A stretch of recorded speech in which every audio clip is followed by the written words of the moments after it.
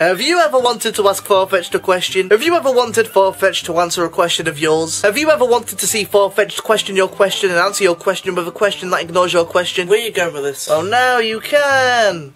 Because I'm doing a Q&A show.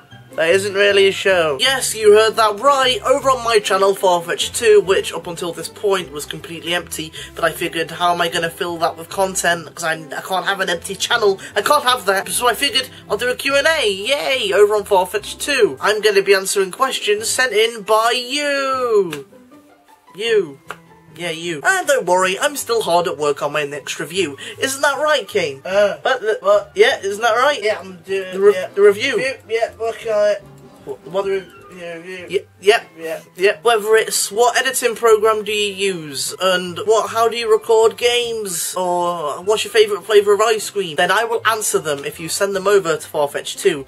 but not the ice cream one because I'll answer that right now. Uh, my favourite flavour is chocolate chip mint ice cream because it's delicious. Are you crazy? So go over to Farfetch'd 2, hit send a message, type a message, click send, and when I release another Q&A, I will answer it. But before you go off and send those messages, I've got some ground rules. One, no lateral zen questions. No, no, no, like, why is a building called a building if it's already built? You know, answerable questions. Because I, I did a Q&A ages ago on an old channel, and I actually got lateral questions. I, don't, I think they should go without saying, but I want answerable questions that are about me and my interest.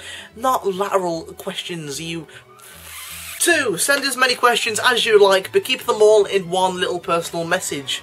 Because, yeah, I will be looking at these questions for the first time round when I look at them. They will be fresh and new to me. So if I see 10 messages in my inbox, I'm not, I don't want to be like, oh, I've got 10 people sending me messages. Oh, they're all by the same guy.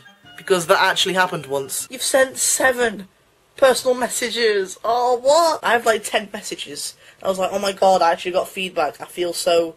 I just feel like I've got fans in my videos. So, yeah, don't don't be that guy. But other than that, knock yourself out. We look forward to hearing your messages. Isn't that right, Kane? Shut up. Okay. okay.